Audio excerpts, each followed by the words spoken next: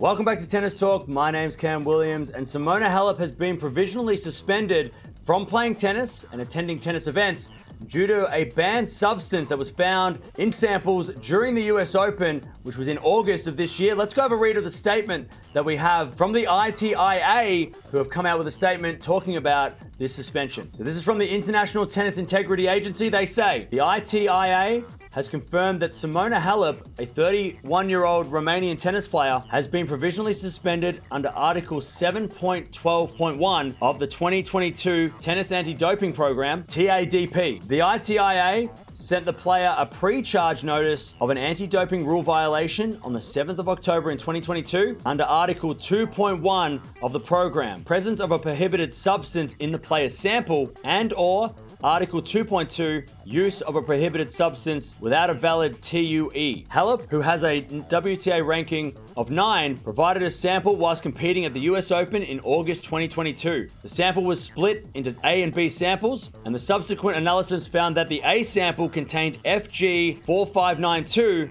roxadustat, which is a prohibited substance listed in the 2022 World Anti-Doping Agency prohibited list. Adverse analytical findings for non-specific substances carry a mandatory provisional suspension. They go on to say the player exercised their right to request that the B sample was analyzed, which confirmed the finding in the A sample. So it means that both samples came back positive. While provisionally suspended, the player is ineligible to compete in or attend any sanctioned tennis events organized by the governing bodies of the sport. The ITIA is the delegated third party under the World Anti Doping Code of the International Tennis Federation, the international governing body for the sport of tennis, and signatory of the code. The ITIA is responsible for the management and administration of anti-doping across professional tennis in accordance with the 2022 TADP. Now, Halep's come out and given a statement as well, saying, Today begins the hardest match of my life, a fight for the truth. I have been notified that I have tested positive for a substance called roxadustat in an extremely low quantity, which came as the biggest shock of my life. Throughout my whole career, the idea of cheating never even crossed my mind once, as it is totally against all the values I have been educated with. Facing such an unfair situation, I feel completely confused and betrayed. I will fight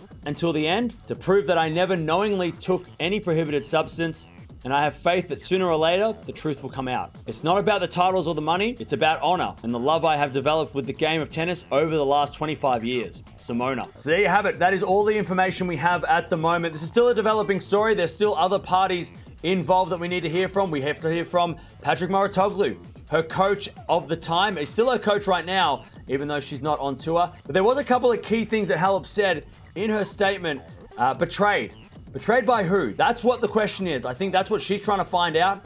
Uh, but unfortunately, for someone like Halep and any athlete who gets found with a banned substance, it's going to come with a suspension, even if you didn't know that it was uh, banned or you didn't know what you were taking. It's still going to come with some sort of ban. We don't know for how long, so that's what we'll keep you up to date with. But it's a developing story. But as far as we know now, Halep had a banned substance in her samples during the US Open, and she is out for as long as we know. But let me know down in the comments below. What are your views on this issue? Uh, how do you feel about this? Do you feel sad? Do you feel uh, angry?